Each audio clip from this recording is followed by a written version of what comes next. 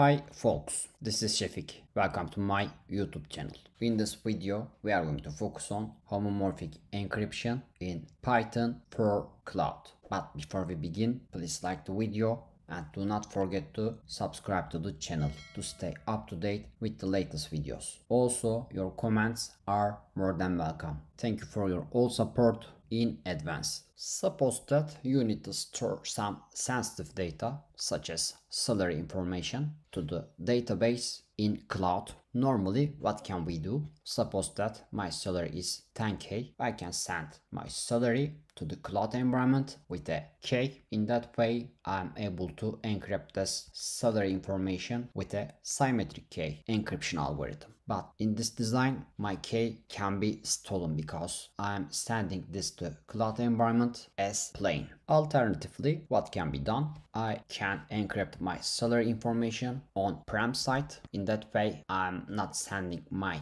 private key to the cloud environment and I'm just sending the encrypted salary. This is very secure, but what if I need to update this salary information on the cloud site? I should retrieve it from cloud environment first and is going to be encrypted salary. Secondly, I need to decrypt it. Once it's decrypted, I will have the plain value. Thereafter, I'm going to update that plain value and encrypt it again. And finally, once it's encrypted, I'm going to send it back to cloud environment. But in that case, Cloud is pretending like a dummy client. I'm using the all computation power on prem side and I'm not using any computation power almost from cloud side. Here the question is that can the update operation be done in the cloud environment while cloud doesn't have my private key? The answer is yes and this is possible with homomorphic encryption. I'm going to work with two different Jupyter notebooks that's why I split the screen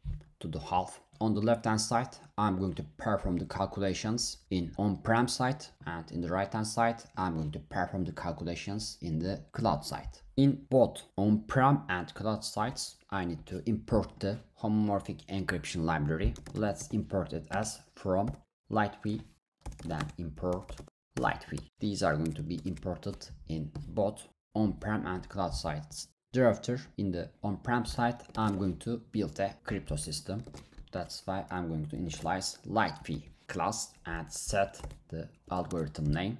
In this experiment, I'm going to use Paillier algorithm because Paillier algorithm is homomorphic with respect to the addition as you can find from LightPHE's repository. This is going to be my crypto system and actually this is going to generate private and public key pair randomly. Besides, optionally, you can set key size and let's work with 1024 bit as you can see crypto system is created this means private and public key pair is generated we can find this as crypto systems get crypto system itself and get its case. As you can see this has private key and public key. And if i run this block again this is going to generate different private and public key pair. Now i'm going to export just public key because this is going to be used in the cloud side that's why i'm going to use crypto systems export case method.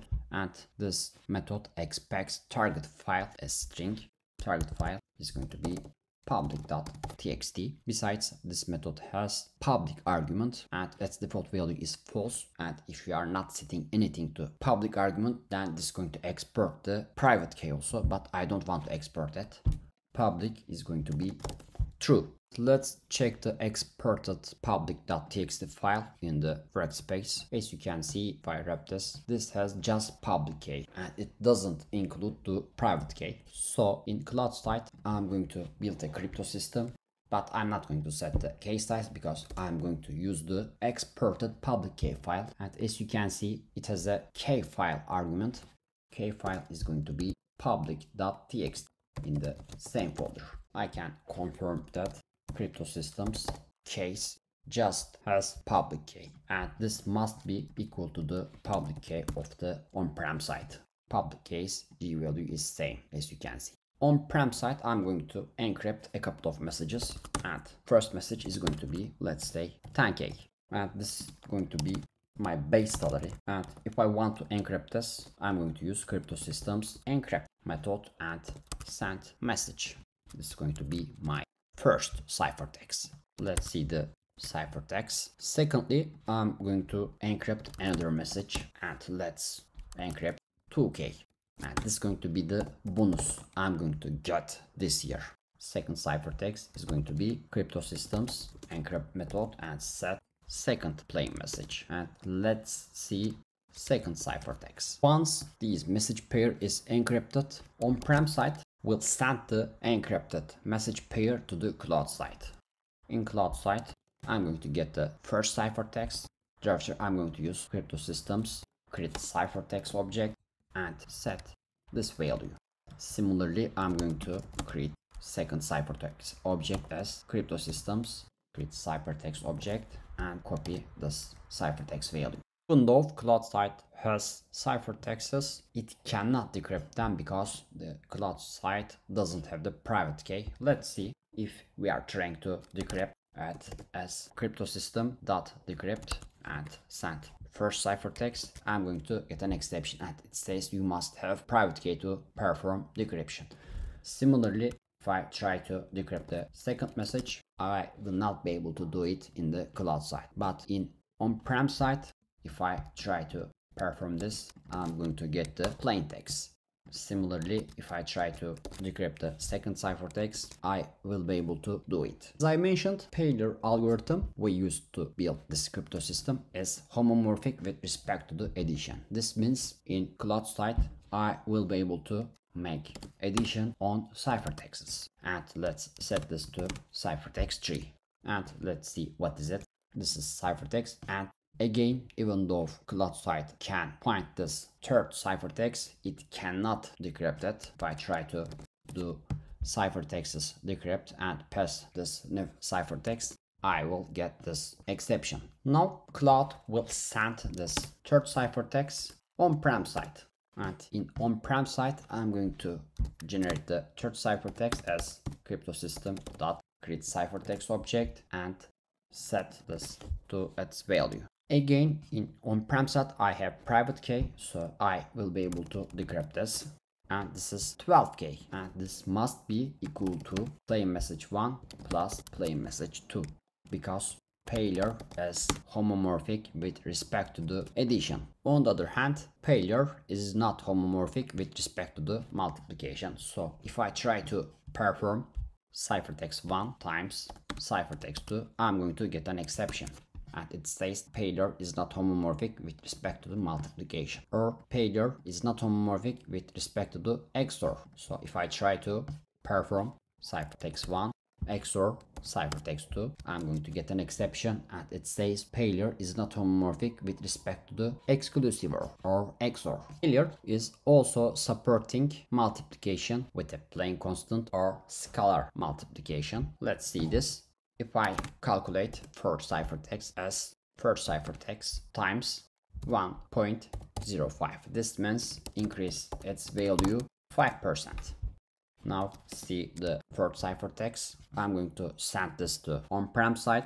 Ciphertext 4 is equal to crypto systems create ciphertext object and send this. Thereafter in on-prem site I'm going to decrypt this. This is 10k 500.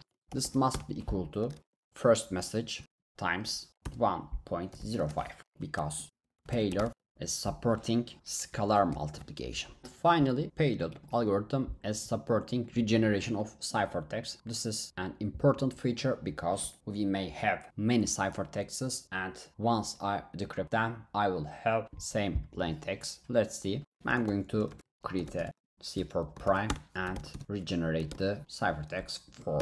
Now let's see C4 prime. As you can see, it's different than the C4 and in on-prem site I'm going to create this ciphertext dot create ciphertext object and set this c4 primes value.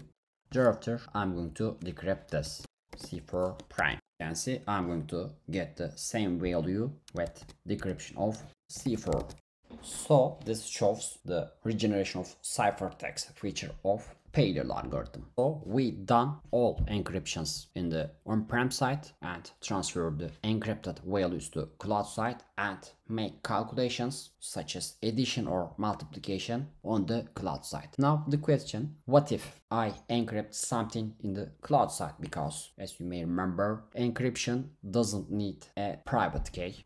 Let's say C5 is equal to M5 ciphertext.encrypt and M5 value at M5 is going to be 3K.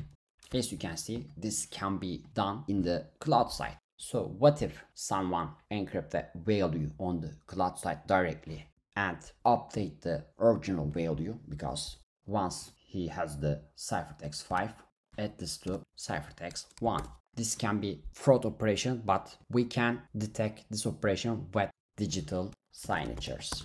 So in this talk we implemented homomorphic encryption for cloud environments with Python programming language and we just use this LightPHE library for Python. We also show homomorphic addition feature of Paillier algorithm, also adds scalar multiplication and ciphertext regeneration features, but in your experiments you can alternatively adopt other additively or multiplicatively homomorphic encryption algorithms in this list. You just need to set the algorithm name with this Texas. If you do like this video, please like it and do not forget to subscribe subscribe to the channel. Also, if you make comments to this video, it will help me to reach more people. I be appreciate in that case. Thank you all for watching and see you next time.